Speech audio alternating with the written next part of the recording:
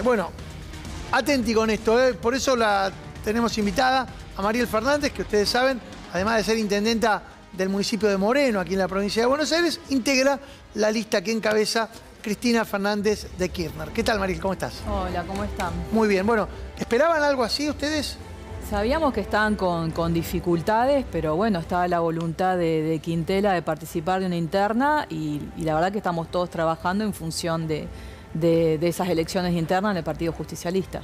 porque, mm, si no me recuerdo mal, fue anteayer, la propia Cristina dio a entender que no, no tomaran en cuenta, que permitieran que se presentaran, que no había ningún problema y habilitó de algún modo desde la buena voluntad, me imagino yo. Sí, sí, de la voluntad de, Cristina y de todas las personas que estamos acompañándolas en la lista. O sea, nosotros nos estamos organizando todos estos días para, para la interna, desde, desde un principio juntando los avales, organizando las urnas en territorio, responsable de urnas, bueno, todo lo que requiere una, una elección estamos trabajando en función de que se pueda realizar.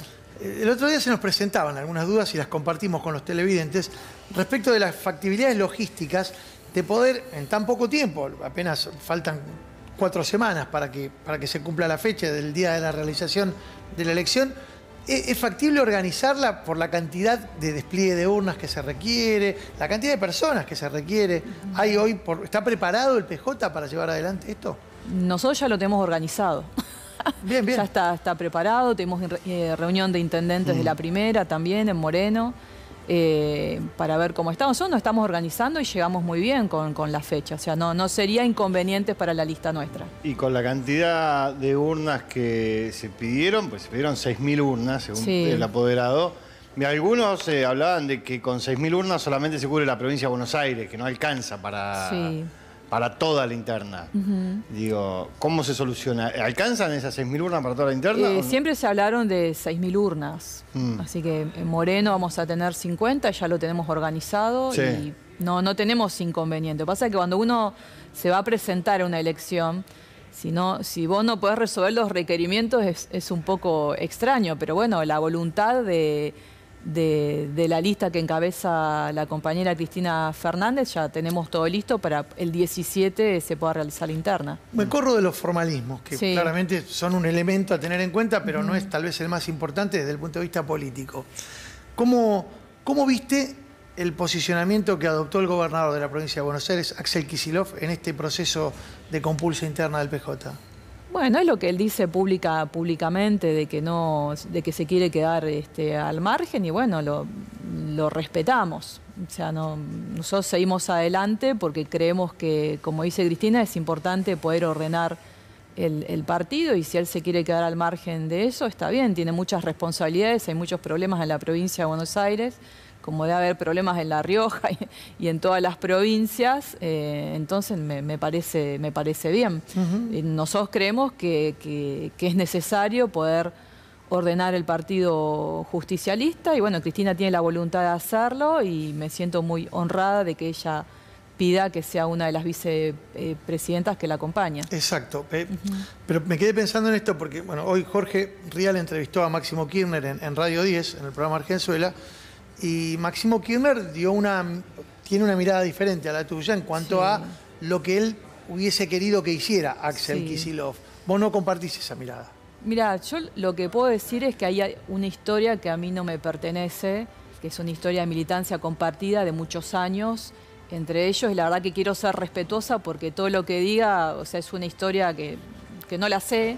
Eh, sí sé para qué fui convocada y fui convocada por la expresidenta de los argentinos para poder ordenar el Partido Justicialista, que esa es su, intención, y que también que no sea el partido una cáscara vacía, sino que comience a tener eh, contenido, está preocupada por la formación política de los, de los cuadros, bueno, por el ordenamiento también del partido, ¿no? Porque tuvimos este, algunos acontecimientos en las legislaturas donde terminaron eh, personas del propio espacio acompañando decisiones de del presidente Javier Milei.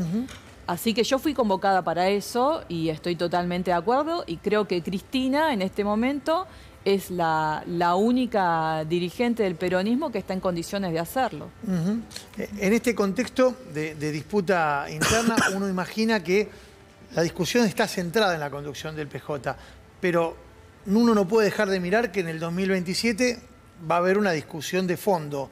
¿Vos crees que hay un camino a recorrer que empieza con esta candidatura al PJ y que puede llegar a transformarse en una proyección nacional para una eventual elección en el 27?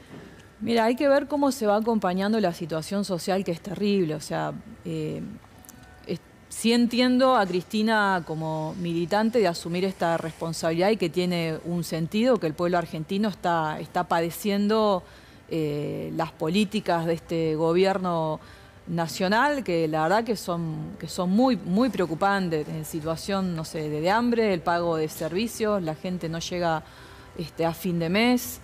Hay una desazón y una falta de proyecto en los jóvenes que a mí me, preocupa muchísimo. Entonces, la verdad que todavía falta mucho tiempo para eso y hay que ver cómo también este, va, decantando la, situación social, que es lo que más nos preocupa.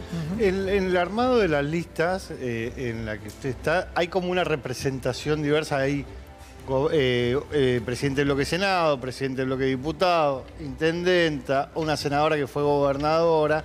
No hay en esa, en esa etapa ninguna representación de la cámpora, que es como es la agrupación que uno podría decir que nunca tuvo ninguna duda respecto de Cristina Fernández de Kirchner. Bueno, para mí que eso habla de, la amplitud de, Cristina y de lo que, que son ciertas sus palabras y la profundidad de lo que ella dice de poder ordenar el peronismo. Entonces, eh, ese es el caso de las vicepresidencias, mm. que para mí están, están como expresadas equitativamente o tratando de expresar también eh, una propuesta federal de rearmado del partido.